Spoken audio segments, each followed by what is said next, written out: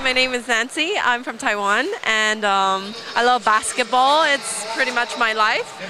And um, I um, earlier on in March, I, I quit my job and I, I went I went to 33 cities, six in 63 days in eight countries in Europe, and visiting 25 matches and 50 teams.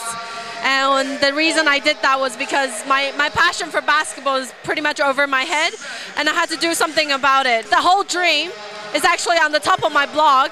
It's a kid with a basketball. And uh, the picture on my blog, on the top of my blog, has been on my wall for 13 years now. And ever since I saw it, it's been on my wall. And every day I wake up, I, I see it, and I know this is what I want to do. I love kids and basketball, and basketball has made my life so much better. I want to I want to change kids' life through basketball. I just think that everyone should feel the passion here. So everyone should um, turn on TV, you know, um, feel the feel the rhythm, and I don't know, just see see the players fly, fly around and doing uh, you know athletic abilities and go out and pick up a basketball, get some friends together.